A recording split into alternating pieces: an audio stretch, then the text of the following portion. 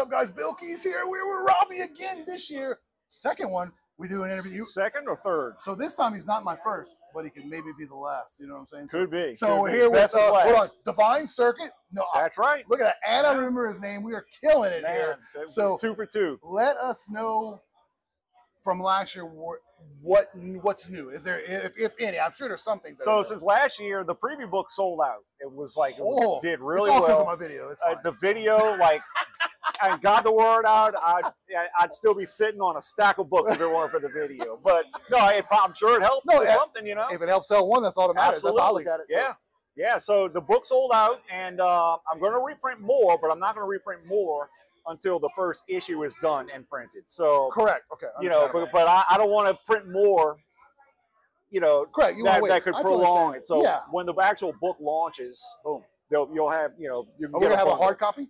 Uh, yeah. Oh yeah. So- so, absolutely. So, regular comic book style. That's Yep. what I call it. I'm not familiar. yeah, they call it they call it floppy. That's like Floppy. I think that's the. the I'm a hard book guy. You know I like yeah a hardcover. Uh, Yeah, hardcover. Eventually, when it when I get to where the series is like you know the first arc is done, I'll get a collected book done. Gotcha. Okay. Um, Because I got this guy. Y'all see him in the backdrop of the videos all the time. So Rex. Rex. Good old Rex. And ironically, a little bit of history, and we say this all the time, but I met Robby in the gym the first time. He was very appealing. I bought a poster. I've been interviewing him probably every year, and we're going to always continue this until it goes on. yeah. So the big question, because I follow you on Facebook, is there ever going to be, and there may be one here, and I may don't know, a Formula One car in the book? Ooh, that, Oh! that is an awesome Oh! question. Got you, huh? Oh man, Probably, huh?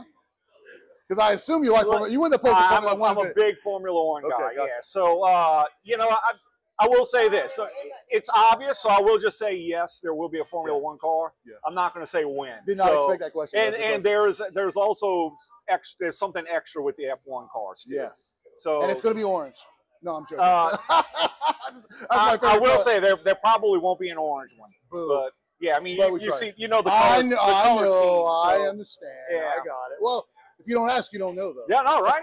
All so, right. what other than this have you been working on? That's another question. Uh, just regular work. Regular yeah, work? still still designing toys for Hasbro. Um, everything from Transformers to My Little Pony. So That's, hey, it- long it's, as they it's pay it. fun. Yeah.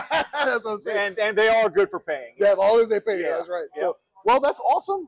Other than that, that's it, right? We're gonna do it. I appreciate you taking the time. Oh, to talk to absolutely. I appreciate I know, I know, I know man. you're gonna say yes every time, but but it's still nice and inviting for people to be friendly and be happy and stuff like that. So, all the stuff that we need to know about Mr. Robby and the book and all buy it, all that stuff will be in the link in the description. And like I always say, my name is BillKeyz, and you guys out there have a great, wonderful day. Okay. Thank you. What's up, guys? BillKeyz here. You can click on here for a video, and you can click here for a video. If you really want to get crazy, you can subscribe.